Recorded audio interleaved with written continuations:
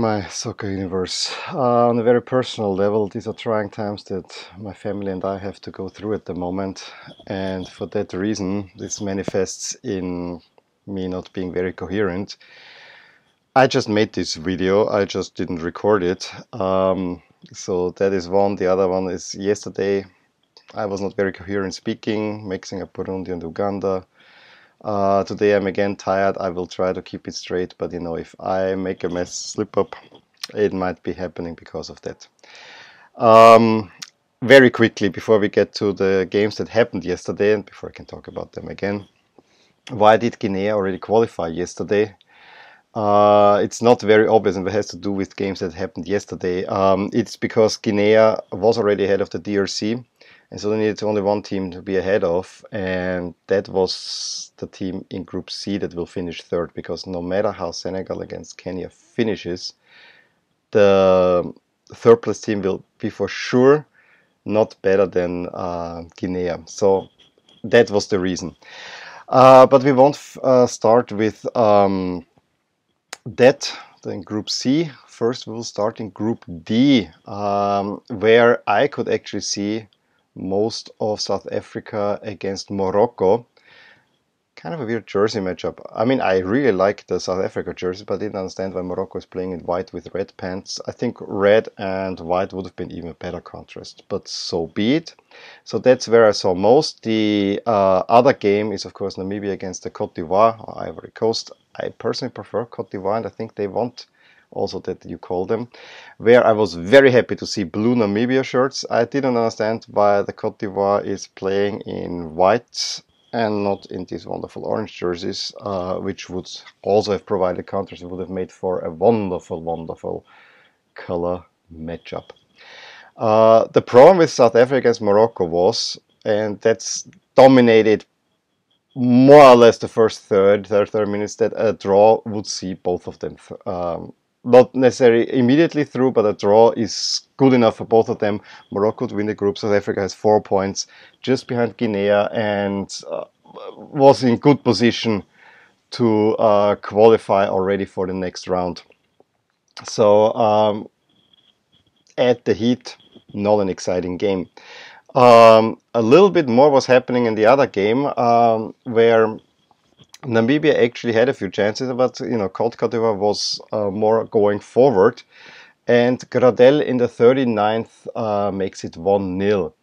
At that point, the game had already heated up because um, uh, Percy Tau had a great chance around the 33rd uh, to make it 1 0. Uh, shots just slipped by, which woke up Morocco a little bit, and they had a few uh, chances. Again, it was Amrabat and Belhanda uh, and also Boussoufa who um, really took then the game and um, were a little bit more active. But it ends with these scores nil nil and 1 0 at the halftime. In the second half, the Cote d'Ivoire kicks in a slightly different gear, uh, and Serre takes a wide shot that is deflected, makes it uh, 2 0. And then, if it wasn't for the goalkeeper Sylvain Gbouhoua for, uh, for the Ivory Coast, Cote d'Ivoire make a bad error by playing out the ball uh, directly to Kamatuka, who then just takes the ball and puts it into the net. Um, 1 2, Namibia gets the first goal. But they quickly put away the game. Thereafter, Zaha in the 84th uh, makes it 3 0, and Cornet in the 89th makes it um, 4 0. And if you see all of these, most of the uh, Cote d'Ivoire goals were actually really nicely taken, well worth watching the highlights that are linked above uh, before. Uh, South Africa, Morocco at that point really seemed like going to a standstill. Um, with South Africa, unfortunately, uh, drawing back a little bit more all the time, um, which kind of was dangerous. But they then really saw, yeah, we can secure this draw. They were going forward at the beginning, and Morocco, yes, little bit doing things, but not really being all that dangerous themselves. Um, I wanna say they hit once the bar yeah, they did. Uh, they did hit the bar um, in around the 60th uh, through uh, Hakimi. That I remember now. But other than that, you know, uh, yes, you could feel if there's a goal coming, it will be more Morocco than South Africa.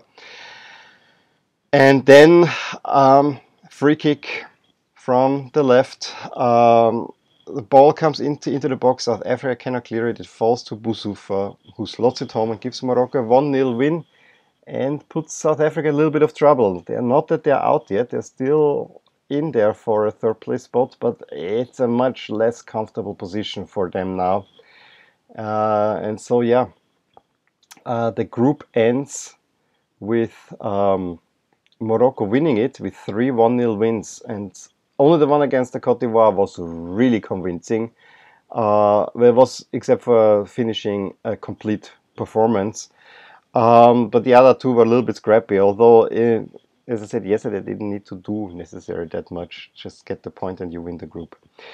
Cote d'Ivoire is in second place, advances to the next stage, and South Africa uh, finishes third with a chance. I mean, minus one is not that bad. Three points, yeah. Four points would have been a lot better. Namibia is out. And so this sets up um, the finish of Group C. Um, where it was actually two contrasting halves in those games. We had Kenya against Senegal, and I did not watch. I only saw the highlight. I was way too tired already. I I just could see that the matchup, uh, color jersey match between Kenya and Senegal must have been a colorblind person nightmare.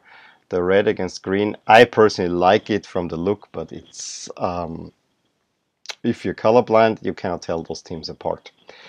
Um, so that was the first game where um, you know Senegal, of course, was on on the front foot. But the interesting thing is a draw between those two would have seen both of them through. So at the beginning of the game, it started nil nil. Kenya actually was qualified because they would slot right behind uh, Guinea and would overtake the DRC and South Africa. So that was a slightly interesting. Uh, fact that draw would have seen both of them through.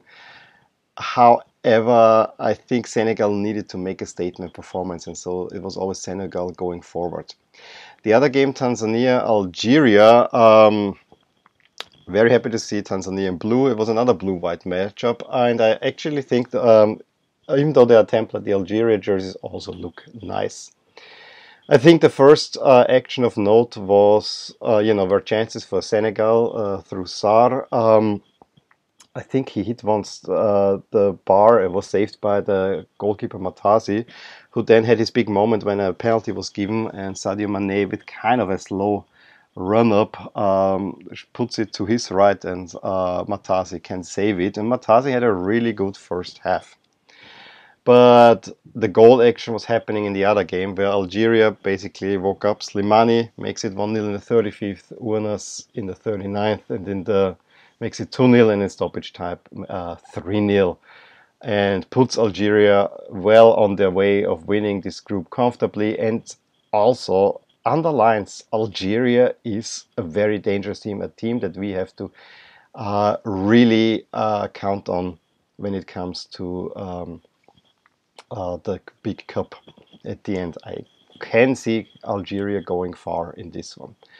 Uh, they've probably have been one of the uh, most convincing teams. And then the goals come in the second half, but it's uh, but Patrick Matasi, who had this great first half, and then he makes a blunder, uh, drops basically the ball in the uh, box, cannot clear it, running out. The ball comes to uh, Ismail Sarr, who puts it into the net 1 0. Senegal.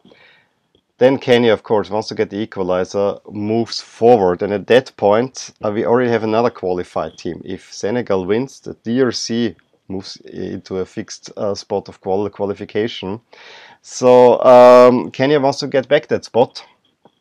Kenya uh, commits man forward uh, on a corner or free kick. Uh, the ball is punted out by Senegal, uh, makes a jump right at the touchline and um, or even deeper in, not touchline, uh, in the middle of the attacking half. Uh, of Senegal, and Mane just takes it off the defender and goes clear on goal. Where yeah, also Matasi is a little bit too far out. Uh, and then Senegal earns a penalty. Uh, Philemon Otieno gets his second yellow, is sent off. Mane steps up and this time, even though Matasi is there, converts, makes it 3-0. Senegal is, is safely in second uh, place. And so the group finishes Algeria 9, Senegal 6, Kenya 3 in a very tricky spot because you basically need all the favorites uh, today to win. We'll talk about that. Um, in order for them to finish among the uh, four best third place teams and Tanzania was already eliminated ahead of this one. As I said, the DRC is now qualified too.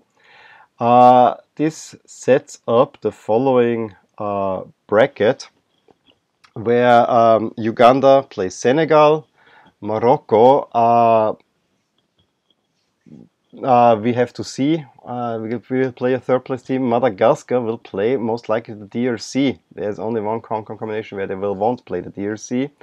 Uh, the Cote d'Ivoire is still waiting their opponent. Algeria most likely against Guinea. It's the same combination that would send the DRC down. Um, so uh, if it's not Guinea, Algeria will play against the DRC. Uh, Nigeria has to wait for the opponent, and Egypt um, also has to still wait for the opponent. Um, so, and we also finish up to uh, in this evening the other two groups, uh, the early games, pit Benin against Cameroon and Guinea-Bissau against Ghana. I think those are pretty even games in terms of interest. Um, the late games, Mauritania, Tunisia, and Angola, Mali. I think Angola, Mali is the one uh, to look at. Both are in forms of double headers in Ismailia and Suez, which I think is also kind of interesting to see. Well, we also have a Women's World Cup semifinal today, and we have a Copa America semifinal today. So there's a lot to watch for, and I actually think that the Women's World Cup um, semifinal it's probably the one that I will, I'll, I'll be watching uh, as much as I love my Cameroon and Ghana. But hey, let's see how it will go. Maybe, maybe I will sleep through all of them the way that I am. Drop a comment below. Let me know what you thought about yesterday's games. Uh, subscribe if you want to see more and give me a thumbs up if you enjoyed this video and I will talk to you soon. Bye. Hey there, I really hope you enjoyed this video and if you did, here are some videos and playlists that might be of interest to you too. Also, please consider subscribing to my channel as it will give you all the updates on my channel, all things My Soccer Universe. And with that, I want to wish you a wonderful day.